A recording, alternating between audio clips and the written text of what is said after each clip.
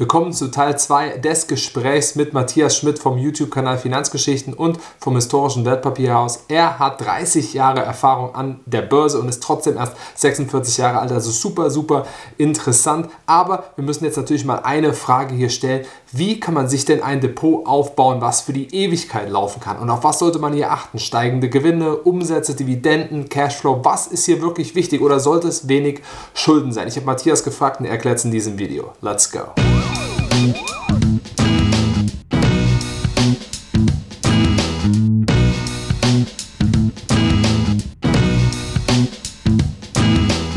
Also das mal, mal zum Thema kleinere Unternehmen. Jetzt kommen wir mal ganz kurz dazu. Eine wichtige Sache finde ich auch immer wieder, wenn es jetzt, viele gehen ja einfach auf ETFs, was ich auch völlig in Ordnung finde, wenn man sagt, ich habe gar nicht die Zeit, mir so ein Unternehmen anzuschauen. Jetzt mache ich das nebenberuflich. Du hast viel mit Wertpapieren, Aktien hauptberuflich zu tun ähm, und machst das auch noch ähm, ich meine, du hast dann den YouTube-Kanal, du hast äh, dich vorher als, als Journalist stark damit beschäftigt. Jetzt ist die Frage, wie, wenn ich aber sage, ich möchte Einzelaktien machen, weil ich den Anteil am Unternehmen haben will, vielleicht auch keine TER, die, ähm, die ich bezahlen muss, was auch immer, also bei einem ETF beispielsweise, die ja sehr gering sind, aber trotz alledem. Ähm, wie kann ich mir denn jetzt mal so ein, ich sage jetzt, ich will jetzt nicht sagen ein wetterfestes Portfolio und auch nicht sagen ein Portfolio für die Ewigkeit, ähm, aber man formuliert das ja immer so ein bisschen. Was ist ein Portfolio für die Ewigkeit oder für eine sehr lange Dauer über Dekaden? Wie kann ich das aufbauen? Also sollte ich über Währungen, Länder, unterschiedliche Größen streuen, mir steigende Gewinne, Umsätze und so weiter anschauen? Also wie kann ich das vielleicht so aufbauen, dass ich ähm, langfristig ein ordentliches, gutes Wachstum habe, aber auch vielleicht nicht sagen muss, ich muss jetzt jeden Tag dieses Unternehmen analysieren damit oder jede Woche, damit ich überhaupt da auch dabei bleiben kann? Also ich sag mal, das, das erste ist, glaube ich, bei der Auswahl der Unternehmen, die für so ein Portfolio in Frage kommen, sollte man auf einen Aspekt achten, ob sie langfristig Werte für uns Aktionäre generieren. Und das halte ich für, für einen wirklich wichtigen Punkt. Und unter langfristig verstehe ich, glaube ich, noch ein bisschen längerfristig als die meisten. Ähm, also was ich, mir auffällt in letzter Zeit ist, dass viele Anleger die letzten fünf oder zehn Jahre maximal anschauen und das als langfristig sehen. Aber dazu, da haben wir keine wirklich schwierigen Zyklen dabei. Ähm, also ich schaue mir gerne Unternehmen ab etwa Mitte der 1990er an. Da ist der New Economy Boom dabei, da ist die Blase, äh, die geplatzte Blase, da ist der Rohstoffboom und Emerging Markets, was zwischendrin war, dann kommt die Finanzkrise, dann kommt die Eurokrise. Da haben wir so viele Krisen und Sachen mit durchgemacht, Corona, Inflation, Krieg, alles. Und dann kann man in verschiedenen Situationen sehen, wie haben sich Unternehmen ähm, entwickelt. Und wer da relativ gut durchgekommen sind. Klar, während der Finanzkrise oder während Corona, das sind die stabilsten Unternehmen 20, 30, 35 Prozent gefallen, ja, ähm, und viele andere noch viel mehr. Das ist alles äh, kein, kein Thema. Aber man sieht, dass sie über diese Schwankungen hinweg Werte äh, gewonnen worden sind, werden wir halt, wir hatten es, glaube ich, im, im Februar, war das, als wir unser letztes äh, Video zusammen mhm. hatten. Ich glaube, da haben wir es am Beispiel TUI hatten wir damals, wenn ich es richtig genau, weiß. Ja, genau, und genau. inzwischen ist TUI bei 1,77 Euro und das ist jetzt 60 Prozent niedriger als von damals. Also das ist ein, ein, Beispiel von einem Unternehmen, das einfach über 20 Jahre nur Werte vernichtet hat. Und nur weil der Kurs von umgerechnet mal 20 auf 1,77 gefallen ist, heißt es, dass der Kurs nicht nochmal 90 Prozent fallen kann. Ähm, weil das denken ja. eben viele, ah, der Kurs ist gefallen und weil er, weil er niedrig ist, da kann er wieder auf die 20 hochkommen. Ähm, davon äh, rate ich dringend ab, sondern wirklich Unternehmen zu suchen, die langfristig Werte generieren. Das ist noch keine Garantie dafür, dass es in Zukunft so ist, aber es ist schon mal ein guter Ansatz. Und ich meine, klar, es werden immer wieder dann so Sachen genannt, die produktzentriert sind, eine Coca-Cola oder so, ja. Aber noch viel wichtiger ist, dass ein gewisses Businessmodell, Unternehmenssystem, sage ich mal, da ist. Weil das ermöglicht dem Unternehmen, flexibel auch in, in Krisensituationen zu reagieren. Und das hat mir die letzten zwei, drei Jahre, äh, habe ich das bei Danaher so, so richtig gesehen. Die haben ja dieses Danaher Business System, was auf Kaizen basiert. Und das Interessante ist, dass sie von den Mitarbeitern viel Eigenverantwortung, viel Mitdenken ähm, verlangen, mhm. was dazu führt, dass wenn schnelle Änderungen sind, die auch relativ schnell wahrgenommen werden. Und die haben während Corona, waren sie einer der ersten Werte, der da wieder auf die Erfolgsspur zurückgekommen ist. Und jetzt auch die Inflationszeit äh, haben sie sehr gut in den Griff bekommen. Warum? Weil dieses Unternehmen viel schneller sich anpasst. Und interessant ist jetzt, dass das Management Ende nächsten Jahres jetzt das Wassergeschäft abspaltet. Sie merken da, okay, das waren jetzt Jahre mit Wachstum, die waren da. Es wird vielleicht nächsten Jahre ein bisschen weniger. Und geben das Ganze an die Aktionäre dann wieder ab. Jeder kann entscheiden, was er mitmacht.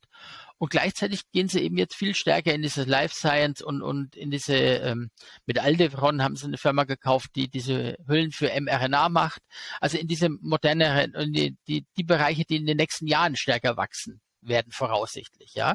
Also das finde ich interessant, dass du das Unternehmen sich sehr schnell auf neue Bedingungen einstellt und dort ja dynamisch quasi ist, ja. Das mhm. Ähnliche gilt für Unternehmen, die eine gewisse Kultur verinnerlichen, einen gewissen, ähm, ja, ähm, wie soll ich sagen, ein Anspruch oder eine Bechtle ist da jetzt auch ein Unternehmen, sage ich mal, ja. jetzt, wo eine gewisse Firmenkultur, ein Familienunternehmen da ist. Oder eben in, in Japan die Itosho, die einfach äh, der, der Gründer hat das Unternehmen vor über 150 Jahren gegründet und hat immer noch dies, dieser Leitgedanke von ihm.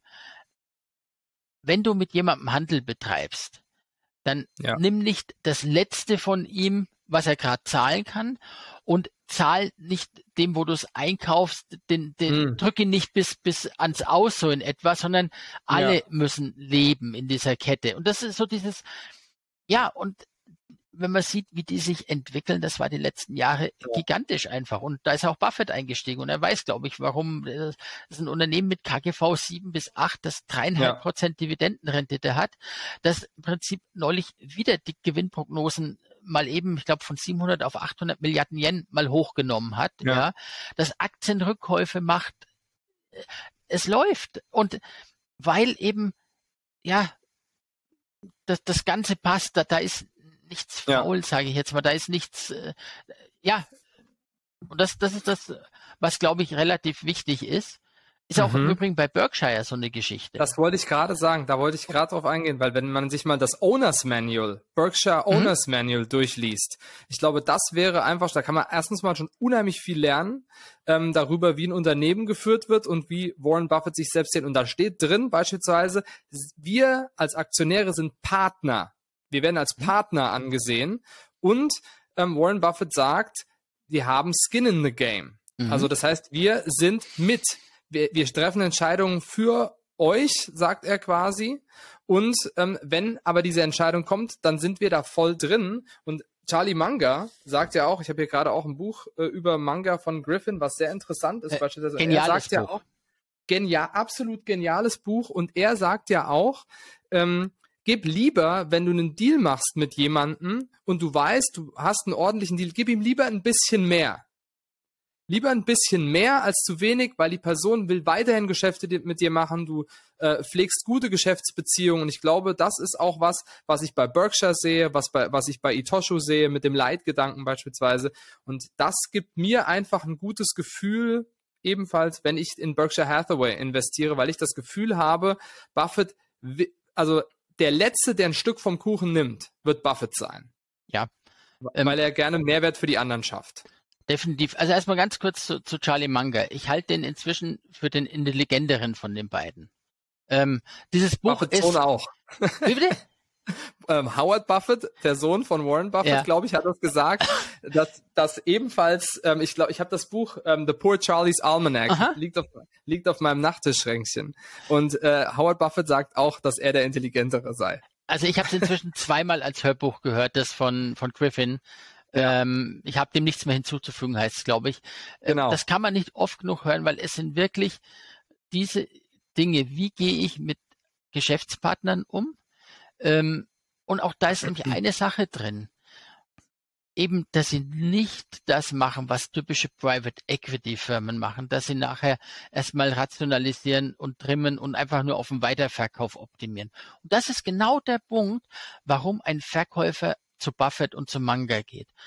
Nehmen wir mal ein Unternehmen an, das 50 Millionen Marktwert hat. In, jetzt ja, kleine, kleine ländliche Gegend, man kennt sich, das Ding hochgezogen. Selfmade in, in über eins, zwei Generationen hochgezogen. Jetzt will er es verkaufen, Altersregelung, sonstige Gründe. Dem ist doch egal eigentlich, ob er 50 oder 60 oder 65 Millionen kriegt. Der will einen anständigen Preis kriegen, ja, ja. aber er wird lieber einem Buffett mit 50 Millionen nehmen, wo er weiß, dass das Unternehmen weitergeführt wird, in seinem Sinne weitergeführt wird, ja. dass die Mitarbeiter, die das ja auch zum Großteil die letzten Jahrzehnte aufgebaut hatten, im Prinzip in diesem Unternehmen weiter beschäftigt bleiben, sich keine Existenzsorgen machen müssen, nicht an die Wand gedrückt werden. Ja. Anstatt es für 65 Millionen an eine Heuschrecke, sage ich jetzt mal böse, zu verkaufen, hm. der presst das Letzte raus, schmeißt die Hälfte der Belegschaft raus oder verlagert die komplette Produktion, nachdem er das Know-how hat, irgendwo nach Asien. Und wenn der Verkäufer nachher zum Bäcker geht und mit fünf anderen Leuten, die bei ihm gearbeitet haben, was meinst du, was die ihm sagen, wie, wie der sich fühlt? Ja, ja, ja. Und genau das ist das, warum Buffett und Mange dort gute Deals bekommen, weil sie einfach fair mit umgehen, weil sie zu ihrem Wort stehen.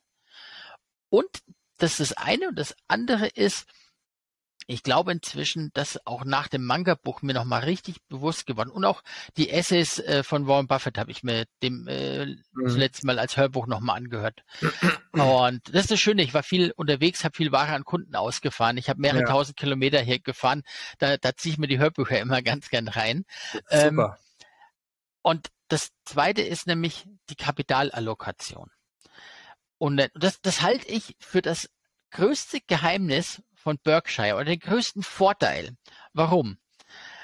Wenn ein Unternehmen Geld erwirtschaftet, dann liefern sie es de facto bei Buffett und Manga ab, in dem Wissen, die beiden wissen viel bessere Quellen, also wenn, wenn sie Geld erwirtschaften und sie haben keine Idee, wo sie es zu ähnlich hohen Erträgen anlegen können oder wie sie das Geschäft erweitern können, dann ja. liefern sie es bei Buffett und Manga ab und die machen was. Aber rumgedreht weiß der Manager, wenn es bei mir die Hütte brennt, stehen Buffett und Manga zu mir ja. und das Geld ist wieder verfügbar. Ja, mhm. ähm, und diese Optimierung, die ist Gold wert, weil sie im Prinzip dazu führt, dass Unternehmen nicht unter Zwang in Bullshit-Projekte investieren. Weil der andere, der, der da ist, der das Geld hat, der dann sagt, entweder ich zahle eine hohe Dividende oder ich, ich muss anfangen jetzt, ja, die Rendite ist nicht wirklich so, aber wir haben die Kohle da, ziehen wir das Ding, ja, machen wir es halt, ja. Also nichts, nichts halbes, nichts Ganzes. Diese Dinge werden dadurch vermieden und ich glaube, das ist, das ist bei Berkshire mit auch einer der, gerade bei den Unternehmensbeteiligungen, die sie haben, ähm, einer der Erfolgsfaktoren. Und ich habe im ja. Übrigen ein Unternehmen gefunden, das sowas in Europa in ähnlicher Form macht. Ich bin noch nicht investiert, aber das ist auch eine Geschichte. Ich schaue mir das, ich habe das aus Zufall, hat mir das jemand äh, in Twitter genannt und ich beobachte es jetzt. Ich schaue mir das ein oder andere YouTube-Video, ich schaue die Quartalsmitteilungen an, Vertrauen gewinnen in, und, und wirklich Know-how ein bisschen dazu haben. Das ist die Firma Lagerkranz, heißt sie, mit C geschrieben, Lager und dann Kranz mit C und, und TZ aus Schweden, knapp zwei Milliarden Börsenwert.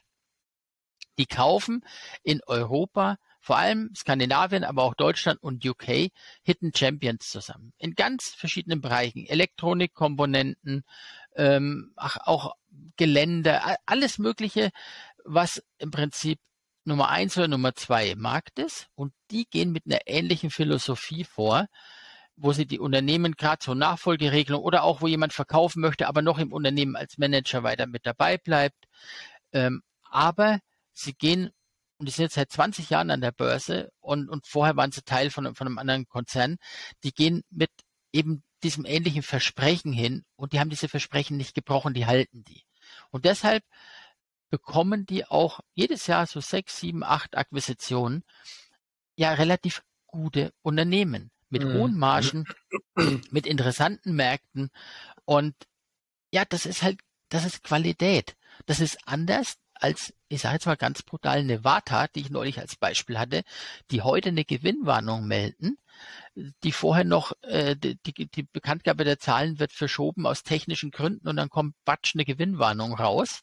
Ähm, und wo der Großaktionär ähm, im fallenden Kurs die letzte, das letzte halbe Jahr massiv Anteile verkauft hat, ja, ähm, und wo jetzt plötzlich im, im, im dritten Quartal war es EPDA schon negativ, also das war schon, da, wird's ja. ganz richtig eng werden, ja. Ähm, ja, das ist eine ganz andere Welt. Beim einen, der Großaktionär haut ab und, und will noch, äh, ich sag mal, er reduziert, er hat immer noch genügend Anteile, ja. Ähm, aber holt noch für sich den letzten Cent raus und das andere ist, ist eine ganz andere, ganz andere Welt. Ja. Ja, ich glaube, genau diese, diese Philosophie, die du ansprichst, finde ich ein sehr guter Punkt, wenn, wenn da einige nochmal genau nachschauen und dann vielleicht schauen, wenn diese Philosophie da ist, wie ist denn in den letzten Jahren, wie sind denn die Gewinne gestiegen, die Umsatz, also der genau. Umsatz, genau. vielleicht die Dividende, der Cashflow und so weiter, vielleicht wenig Schulden, außer wir haben jetzt Versicherungen oder Immobilienunternehmen ja. und so weiter, ja und wirklich auch, also man kann auch solche Firmen finden und witzigerweise Itosho habe ich über den Weg gefunden. Ich habe mir irgendwann vor fünf Jahren oder sechs Jahren irgendwann mal ähm, alle Nikkei 225 Werte im 25-Jahres-Chart angeschaut.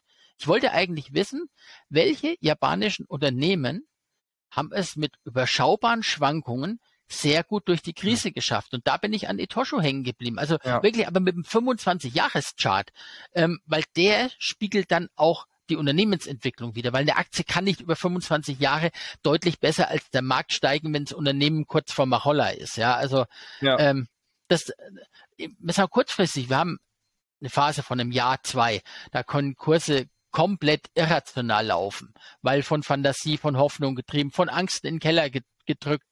Ähm, da da gibt es so viele Gründe dafür. Aber über so einen langen Zyklus ist letztendlich der Gewinn und vor allem auch der Free Cash Flow, der für die Aktionäre generiert wird, die entscheidende Größe, die die Werte schafft, ja. Und mhm. deshalb ist eben ja sowas wie eine Etosho einfach interessant. Ich weiß, die sind ein Stück zyklisch. Das heißt, bei Etosho wird durchaus, wenn die Rohstoffpreise runtergehen, da, da kann mal ja. eine Phase kommen, wo der Gewinn auch mal wieder 30 Prozent fällt. Aber eben, weil ich mit, mich mit beschäftigt habe, weiß ich das zu akzeptieren und ich sehe jetzt auch die guten oder die, die Zeiten, wo, wo wir deutlich nach oben äh, überschießen, ja. ja. Und ähm, ja, dann bleibt man dort eben auch ruhig. Und das ist das, wo ich vorhin gemeint habe, je tiefer du dich mit einer Firma beschäftigt hast, desto ruhiger bleibst du dann auch irrationale Situationen am Markt im Prinzip auszusetzen. Und deshalb mhm. ist es so wichtig, ja. dass du dich selbst mit den Unternehmen beschäftigst.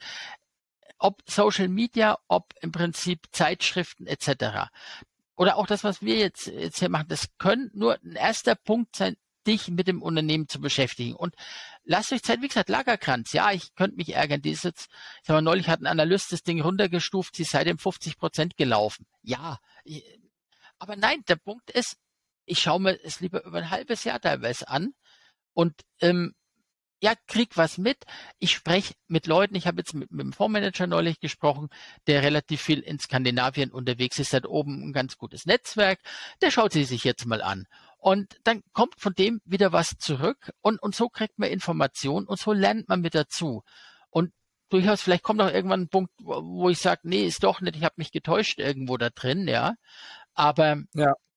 Das, das geht nicht von heute auf morgen und ein Punkt, und da bin ich, zwei Sachen. Das eine ist, mit Leuten drüber reden. Also dafür ja. ist Social Media, aber nicht den, nicht die, die Frage äh, bereden, kaufen oder verkaufen, sondern die fundamentalen Sachen. Wie seht ihr diese Entwicklung in dem Bereich? Wie seht ihr die Margenentwicklung? Wie seht ihr, da soll jetzt die Firma, Wettbewerbsfirma bringt ein neues Produkt. Wie, wie beeinflusst das das Ganze? Oder da hat es jetzt einen Wechsel im Management zu, äh, gegeben. Was hat das zu bedeuten? Ja? Oder der Großaktionär wechselt etc. Also ähm, immer nur fundamentale Sachen zum Unternehmen, nicht zum Kursverlauf, nicht zu der Entscheidung, ob man kaufen oder verkaufen soll, diskutieren. Dann werden Diskussionen gehaltvoll und, und interessant. Und die Tage vielleicht mit Jonathan haben wir uns ein bisschen äh, recherchiert, Swedish Match. Swedish Match macht Squeeze Out. Ja. Und wir kennen ja aus Deutschland, Squeeze Out ist eine geniale Geschichte, um sie die Spruchstellenrechte zu sichern. So, jetzt sind ja. wir dran, rauszufinden, wie funktioniert ein Squeeze Out in Schweden, weil wir sicher sind, dass das Unternehmen fundamental deutlich mehr wert ist als das, was Philip Morris bezahlt. So, jetzt geht's drum. Wir haben inzwischen in Schweden ein paar Leute gefragt. Äh, ich habe zwei Leute gefragt, die in Schweden Kontakte haben. Wir haben angefangen, ähm, Gesetzestexte dann uns, uns mal zu übersetzen und in der SEC war was drin gestanden. Und so lernt man im Prinzip. So kriegt man Know-how und man tauscht sich mit Leuten wieder aus. Dann kommt meine Rückfrage zu, zum, zum deutschen Spezialität von dem wieder.